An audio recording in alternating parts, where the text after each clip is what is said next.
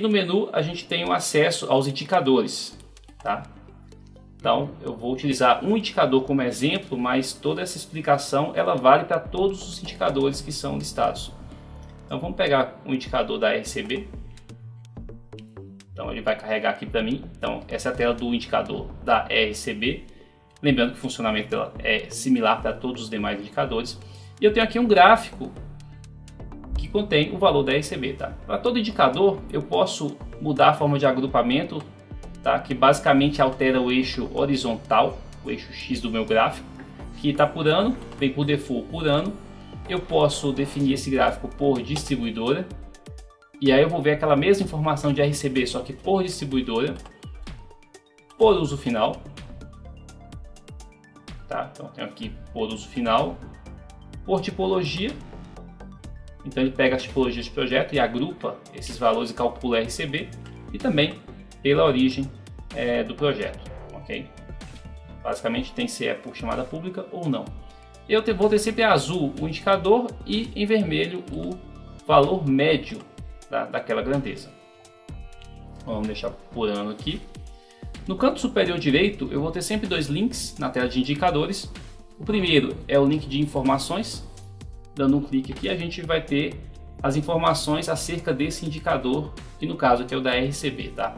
A unidade do meu indicador, o significado, tá? O que quer dizer esse indicador, a interpretação, ou seja, como que eu devo interpretar o indicador, o valor maior ou menor significa o que, é, é benéfico ou não, o objetivo estratégico, qual que é a função desse indicador dentro do programa de eficiência energética, a periodicidade com que ele é coletado e a fórmula matemática de cálculo utilizada para calcular cada um desses, desses valores do indicador, ok?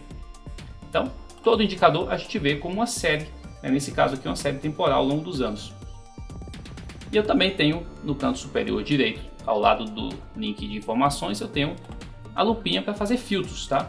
Então eu posso filtrar o meu indicador por ano, por distribuidora, por estado, por uso final, por tipologia, por origem, por investimento e eu posso customizar a ótica, se eu estou utilizando a ótica do sistema ou a ótica do consumidor. Tá? Vou fazer um filtro aqui por ano, então eu vou marcar todos os anos e vou remover alguns anos, 2009 a 2012 eu vou remover do meu gráfico, clico aqui em buscar novamente e vocês vão perceber que esses anos foram suprimidos da tela ali do indicador. Tá? Então posso configurar aqui como eu desejar. Além disso, a gente tem aqui nessa mesma tela um link para o Excel. Na verdade é para baixar uma planilha do Excel com os dados que deram origem a esse indicador. Isso respeitando todo o conjunto de filtros que eu acabei de fazer na tela. Então se eu clicar aqui, eu baixo. Não são os dados finais do indicador, são os dados que deram origem a esse indicador, os dados brutos, ok? Então posso baixar essa planilha através desse link.